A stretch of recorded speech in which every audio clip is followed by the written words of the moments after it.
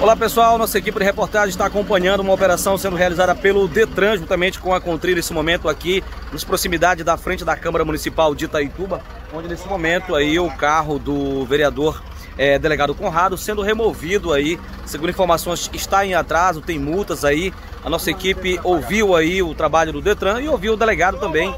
O delegado disse que realmente o veículo está em atraso, que ele vai pagar, né?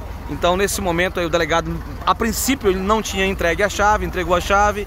Nesse momento, está pedido aí o auto de infração e o carro, modelo S10, né, do delegado Conrado, vereador aqui do município de Itaituba, sendo recolhido, né, ao pátio do Detran para a quitação de qualquer irregularidade, onde depois ele pode fazer aí a retirada do veículo. Então, nesse momento, agentes do Detran e Contrim fazendo aí a remoção do carro do vereador delegado Conrado por irregularidades. Remoção aí do carro do vereador Conrado. Nesse momento o vereador chegando aqui, né? Inclusive aí vai entrar no veículo. É, vereador, com relação a esse procedimento aí, vereador. É o seguinte, eu falei para ele que ia pagar o carro. Ele tem perseguição pessoal contra a minha pessoa, entendeu? Porque ele tem uma empresa da irmã dele que não existe o endereço, né, Nova de Santana 1120, é, licitação está sendo investigado pelo Ministério Público Federal. Eu falei que ia pagar o imposto do carro lá agora. Eu tenho fé pública e apresentar agora lá. Tá atrasado aí um mês só, eu vou lá pagar. E tá cheio de carro aqui atrasado, mas só o meu que ele tá perseguindo. Tá atrasado o seu então, confirma. Tá atrasado, acho que um mês aí, é questão de um mês. Agora nós estamos em março, né? Eu acho que é fevereiro que vence, né? Questão de um mês só. Tá certo, o delegado aí falando a sua versão sobre o caso nesse momento aí. Inclusive. Precisa remover de forma coercitiva. Eu quero o seguinte, eu vou pagar lá.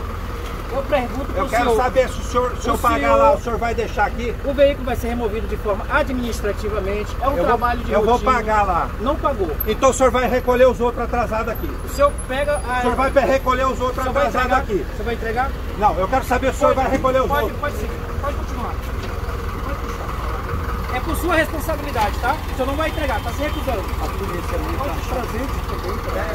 Tá certo, o delegado aí, o delegado vereador, né? Nesse momento aí, o pessoal aí da, da Polícia Militar chegando para reforçar o trabalho aí do Detran juntamente com a Coordenadoria Municipal de Trânsito.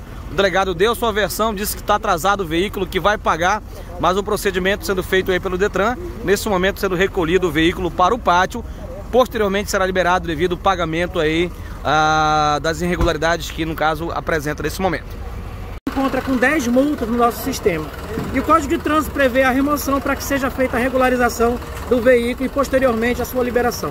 Agora, a cena, é, o carro pertence ao vereador Conrado. Ele veio aqui e questionou o quê? Isso, de início ele não entregou as chaves do carro, se recusou.